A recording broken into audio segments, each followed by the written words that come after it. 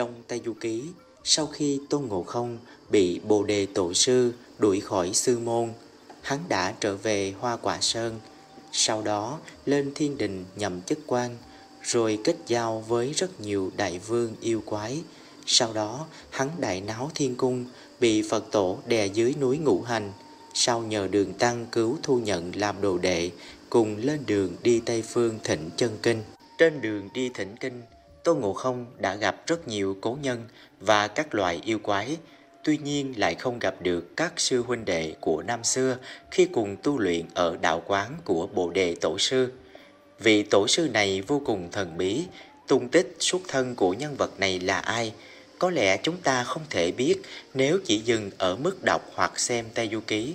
Danh sưng Bồ Đề Tổ Sư thực ra cũng chỉ mang nghĩa là một vị thầy tình tu đắc đạo dưới gốc cây Bồ Đề mà thôi. Bồ Đề Tổ Sư ẩn cư tại Tây Ngưu Hà Châu, ở trong linh đài Phương Thốn Sơn, Tà Nguyệt Tam Tinh Động.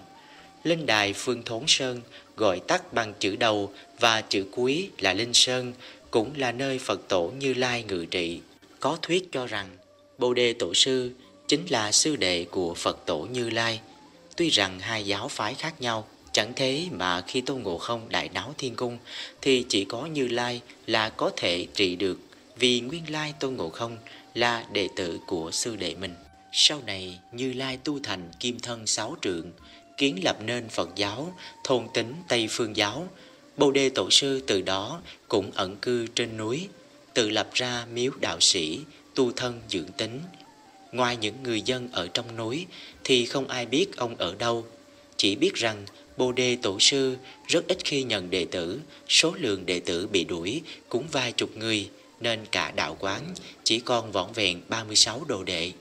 Trong Tây Du Ký, có lần Tôn Ngộ Không quay về đạo quán của Bồ Đề Tổ Sư, thì không thấy sư phụ và các sư huynh đệ đồng môn. Vậy họ đã đi đâu? Hoặc đã chuyển sinh thành kiếp khác trong tam giới? Lai lịch của Tôn Ngộ Không là con khỉ được sinh ra từ quả trứng đá thác sinh do trời đất, được thiên địa hóa dục mà thành. Vốn sinh ra đã mang sẵn tinh hoa của đất trời, không cha không mẹ, chứng kiến cái vô thường của kiếp người và cái phù du của kiếp nhân sinh, Tôn Ngộ Không quyết tâm tu luyện, vượt qua mênh mông biển lớn sông dài, lang bạc mười mấy năm trời ở Nam Thiệm Bộ Châu. Cuối cùng, Hầu Vương cũng tìm được đến đạo quán của Bồ Đề Tổ Sư ở Linh Đài Phương Thốn, động Tà Nguyệt Tam Tinh. Phát hiện được căn cơ của Thạch Hầu, Bồ Đề Tổ Sư đã truyền dạy đạo Pháp trường sinh cùng 72 phép biến hóa, thất thập nhị huyền công địa sát, thoát khỏi sự khống chế của ngũ hành.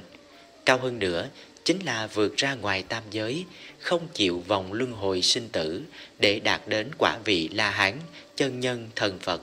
Trong Tây Du Ký, Tôn Ngộ Không cùng sư phụ vượt qua nhiều sông, núi, sa mạc mênh mông, nhưng không có vượt qua biển cả.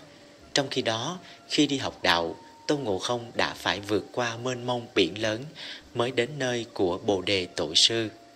Vậy con đường đi thỉnh kinh khác hẳn với đường cầu đạo của Tôn Ngộ Không, nên chuyện không gặp lại được sư huynh đệ đồng môn năm xưa cũng rất bình thường.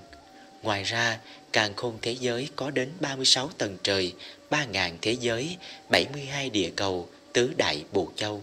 Chỉ tính trên thiên đình đã có 325 cung trời, chính là các tầng trời hay tầng cảnh giới, con gọi là thiên đường. Trong đó có một cung chính là Ngọc Hư Cung và Điện Linh Tiêu, cùng 72 cung tiên thuộc tầng trời tối đại thượng thiên. Sau đó là 36 cung nguyên thủy thuộc tầng trời đại thượng thiên của các vị tam thanh, 144 cung thuộc tầng trời trung thượng thiên, các cung thuộc tầng trời tiểu thượng thiên thuộc khu vực Bạch Ngọc Kinh là nơi hội họp của Thượng Đế với quần thần. Vì vậy, các sư huynh đệ của Tôn Ngộ Không chuyển sinh sau 500 năm vào các giới thì cũng khó lòng mà gặp được.